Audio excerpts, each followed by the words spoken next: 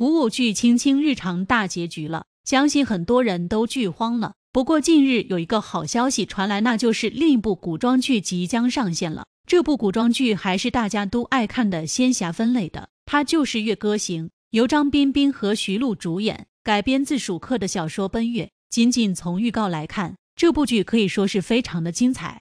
这部剧主要讲述的是少女柳梢因为体内有着特别的力量，被魔神选中，为了与神秘人三日相伴的欢愉，改变了一生。原本一个千金大小姐的命运从此改变，被卷入了一场巨大的阴谋中。陆离为了她体内的神秘力量，所以和她相识，带着目的的接近，导致了这一对闹出了不少的误会，可以说是非常的虐心。甚至于柳梢好不容易开始修行，却差点被废，最终陆离舍命相救，两人最终解开了误会。但命运的安排注定了两人的爱情坎坷不断，为守苍生，为护爱人。他们历尽磨难坎坷，倾子一生，成君一诺。他们能否冲破宿命，改变结局？这是令人非常期待的。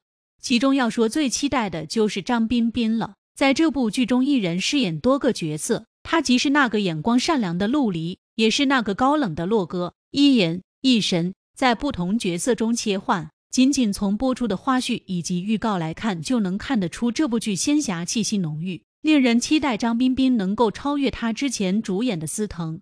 最早看过的张彬彬的作品还是《三生三世十里桃花》里面的一足离境，那个有些邪魅又痴情，虽然优柔寡断但重情重义的美男子。之后的司藤里面，他和司藤之间的爱情更是令人既感动又喜欢。他总是能够找那个审美上，这大概也是为什么到目前为止《月歌行》能够有二百五十四万以上预约的好成绩吧。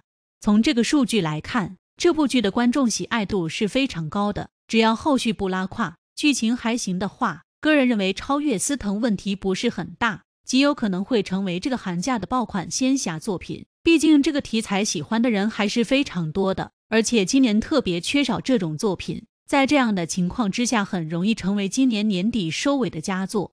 不过，唯一让观众们有一些担忧的是，这部剧的导演之前制作的作品《云溪传》和《如意芳菲》都是那种半温不火的，会影响这部剧。不过，个人认为徐璐和张彬彬靠着颜值和演技，应该能够征服观众。而且，男女主是属于那种一见钟情之后就热烈相爱的那种，初见极为真心，为了一诺便是一生，爱的浓烈，烈的痛快。对于这部剧，笔者是非常期待的。除了张彬彬和徐璐，这部剧也有不少的熟面孔：郑和惠子、马月乙、张雅卓、陈钰琪，可以说集高颜值、高演技以及优秀剧情于一体。又是仙侠虐恋这种容易爆火的题材，想要不火都很难。今年爆红的仙侠剧就有好几部：迪丽热巴和任嘉伦的《玉娇记》，杨紫和程毅的《沉香如屑》，还有王鹤棣和虞书欣的《东方玄幻剧苍兰诀》，都是今年的爆款剧。但是没想到，到了年底，还有一部新的仙侠剧要开播了。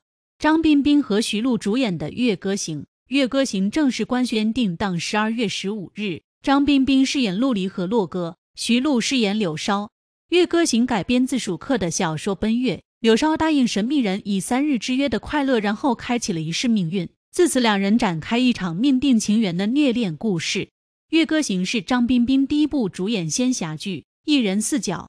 这也是张彬彬今年的第二部剧了。之前和虞书欣主演的两个人的小森林也是取得了不俗的成绩，热度破万。这次在《月歌行》里面，张彬彬一个人就可以满足对所有类型男主的幻想。张彬彬在《月歌行》里面一人分饰四个不同角色，全部自己配音。四个不同角色，看着这图片就知道不一样了，可活泼，可高冷，可霸道，可温柔。张彬彬这次是拓宽了戏路，这是有多大的挑战性在上面？而且张彬彬全部是自己配音，可以期待一下他的变化。张彬彬、徐璐新剧恋爱明码标价，在剧情方面，《月歌行》和之前的仙侠剧有点不一样了。张彬彬是凡人陆离，也是上仙洛哥，但是截然不同的角色又有千丝万缕的联系。